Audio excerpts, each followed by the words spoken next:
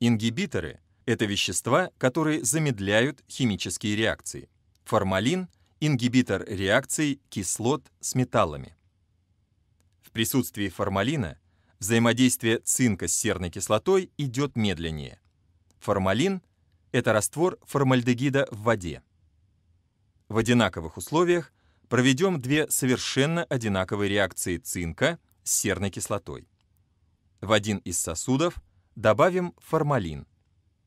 После начала реакции по объему выделяющегося водорода становится заметно, что формалин замедляет реакцию цинка и кислоты. В сосуде с ингибитором водорода гораздо меньше. Ингибиторы — это вещества, которые замедляют химические реакции.